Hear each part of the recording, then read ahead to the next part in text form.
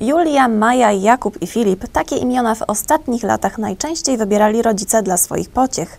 Czy w minionym 2015 roku trendy co do imion nadawanych w Raciborskim Urzędzie Stanu Cywilnego nieco się zmieniły? Co roku Raciborski Urząd Stanu Cywilnego przygotowuje statystyki i tym samym podsumowuje miniony rok.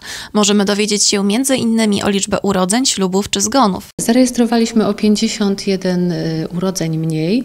W sumie y, w 2015 roku zarejestrowaliśmy 995 y, urodzeń. Nieco więcej chłopców urodziło się niż dziewcząt, ale to różnica zaledwie jednoprocentowa. Bardzo popularne imiona, ale już nie najpopularniejsze to oczywiście Jakub czy Filip. Dużo dziewczynek w ostatnich latach otrzymywało imiona Maja czy Lena. Zmieniły się nieco najpopularniejsze imiona nadawane chłopcom. W ubiegłym roku najpopularniejsze były Karol, Szymon i Bartosz. Dla dziewczynek Julia, Milena i Zuzanna. W minionym roku nieco odwróciła się tendencja, coraz więcej par na miejsce zaślubin zamiast kościoła i przysięgi przed Bogiem wybierało właśnie Urząd Stanu Cywilnego. Zarejestrowaliśmy 339 małżeństw, w tym 135 małżeństw konkordatowych i 153 małżeństwa y, w Urzędzie Stanu Cywilnego.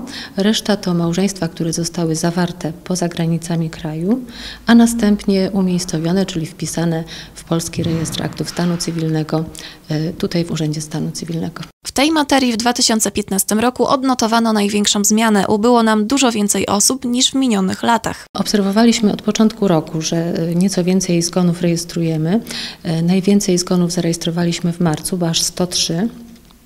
W sumie w skali całego roku zarejestrowaliśmy 850 zgonów. Na początku marca ubiegłego roku nieco zmieniły się przepisy. Teraz każdy zarejestrowany noworodek już w Urzędzie Stanu Cywilnego otrzymuje swój numer PESEL, ale to nie wszystko. Został e, powołany Rejestr Stanu Cywilnego. Jest to ogólnopolski elektroniczny rejestr zdarzeń z zakresu stanu cywilnego. Oznacza to, że odeszliśmy już od rejestracji w papierowych aktach stanu cywilnego na rzecz elektronicznych aktów opatrzonych elektronicznym podpisem kierownika Urzędu Stanu Cywilnego. Zaletą tego systemu jest, że poszczególne urzędy stanu cywilnego mają jedną wspólną bazę. Dzięki temu można złożyć wniosek o wydanie odpisu aktów stanu cywilnego w dowolnym wybranym urzędzie stanu cywilnego w całej Polsce. Zaznaczamy, że osoby ujęte w statystykach nie zawsze są mieszkańcami Raciborza.